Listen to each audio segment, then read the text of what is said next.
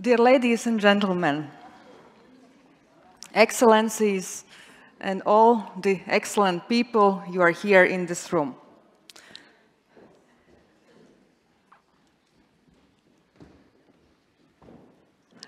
My name is Dagnija Lejiņa, and I'm the uh, chairwoman of Latvian Transatlantic Organization.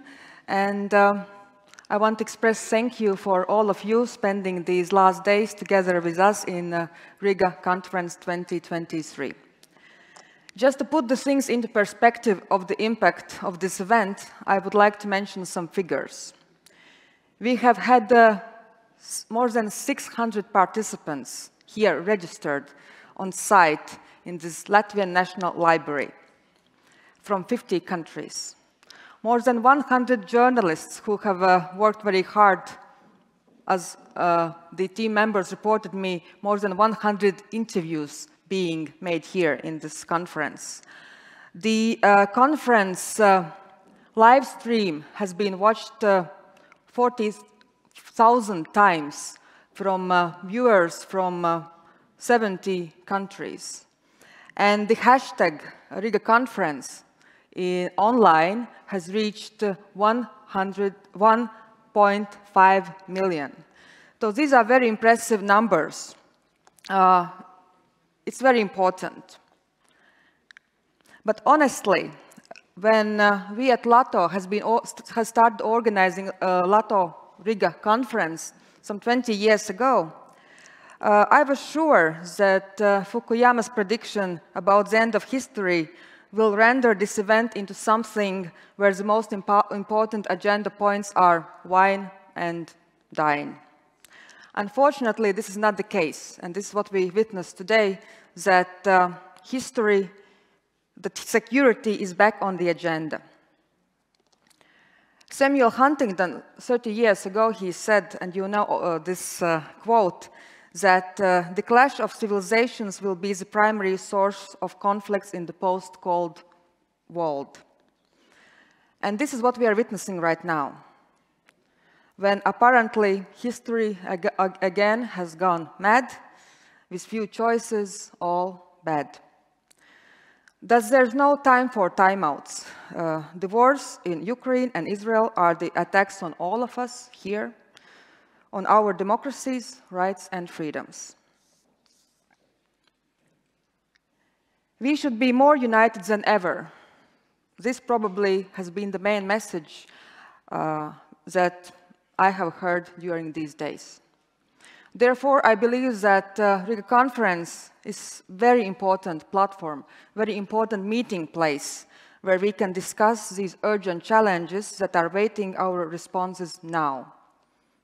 And let me tell you that the absence of decisions are actions too. So we must show our readiness to defend each other now. I hope that you all will bring this message to your colleagues, that you will extend these conversations during your kitchen talks with your uh, families, with your friends, that you all will be uh, open to journalists' questions in the mass media, that you will explain these messages and you will be active in social media. Because as we heard these days a lot, winning people's minds and hearts are, is as important as battles on the ground.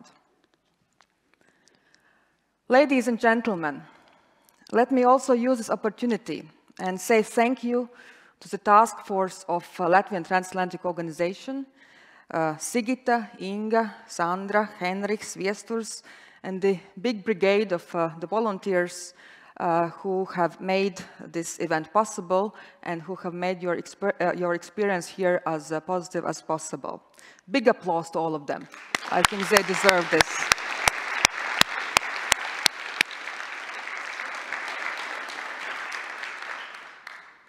Uh, thank you all, also our strategic uh, partners uh, and co-organizers of LATO Riga conference, the Ministries of uh, Foreign Affairs and Ministry of Defense of the Republic of Latvia, our supporters, NATO Public Diplomacy Division, the European Commission representation in Latvia and uh, Konrad Adenauer Stiftung, and of course uh, many others, embassies, international organizations and private sector partners and media. Next, ye next year, 2024, NATO will be at uh, 75. We will also celebrate 20 years of uh, Baltic membership in NATO.